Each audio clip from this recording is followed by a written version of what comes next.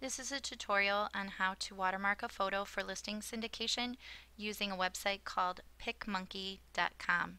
So we'll get started real quick here. Make sure you have a photo of the property that you'd like to watermark already available and downloaded on your PC.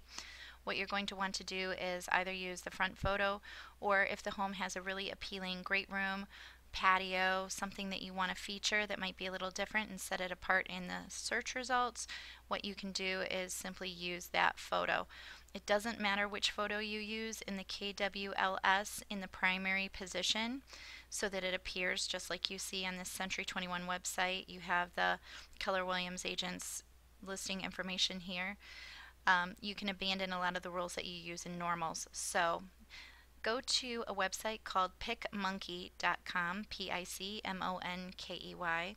and what you're going to want to do is go ahead and upload your photo. It's very simple to do. You just click edit a photo, your house sample, and it will go ahead and upload for you.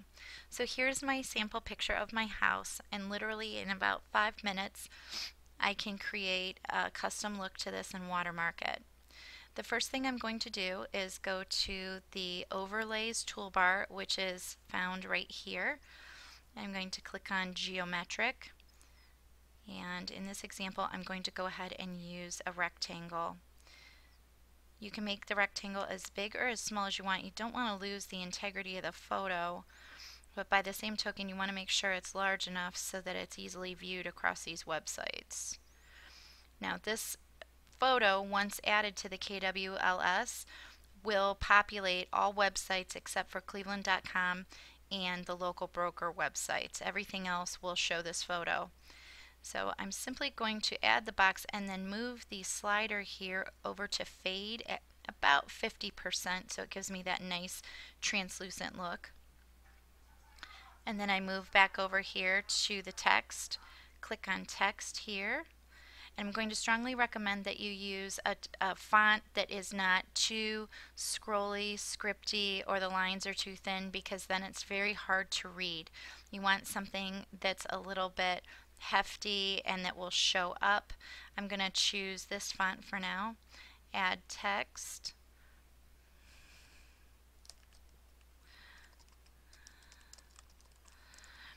Okay, and you can add anything to this that you want. Um, depending on how much you want to play with this, you can even add things like open house dates, if you're on a team, the team member that's going to be um, holding it, whatever you want.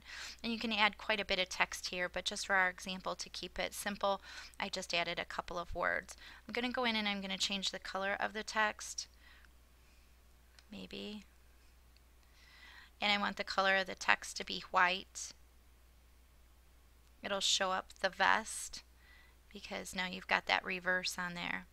Now, once I've added all the information I want on there, and I would definitely include your name, your phone number, and even potentially your website or a call to action for them to call you for a private showing. After you do that, go back to the overlay menu again, and this time click on your own. And this is where you can add a logo or if your team has a logo that you use, whatever you want. Now this doesn't have to abide by any logo standard, so it could be as big or as small as you want. The red logo looks really, really good on these. Um, as you can see, this is the black logo. So you just start layering things on top. You could put your photo here, but I'm not sure how well that translates. Anything that's very simple, clean, and strong graphically will come across the best. And once you're done, you simply go up here to save, click save, and download a copy to your desktop. And then you have it. In our next tutorial, we'll show you how to add it to the KWLS.